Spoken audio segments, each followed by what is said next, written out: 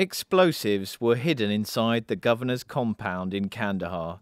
When they went off, 11 people, including five UAE diplomats on a humanitarian mission, were killed.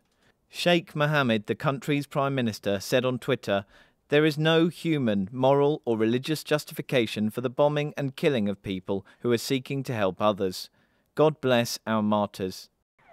The Taliban has denied any involvement in the Kandahar attack, but the group did claim responsibility for two bomb attacks in Kabul, which took place just a few hours earlier and killed at least 30 people. The first was a suicide bomber, the second, a car bomb.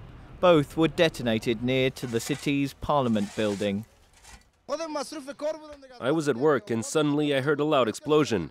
I got down and a lot of debris, iron debris, and explosive debris flew past. It was very dangerous. I was on the phone when the first explosion took place, and that was a minor one.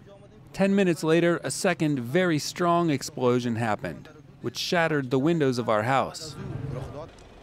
And earlier Tuesday, a suicide bomber killed at least seven people in Lashkargah, the capital of the volatile Helmand province.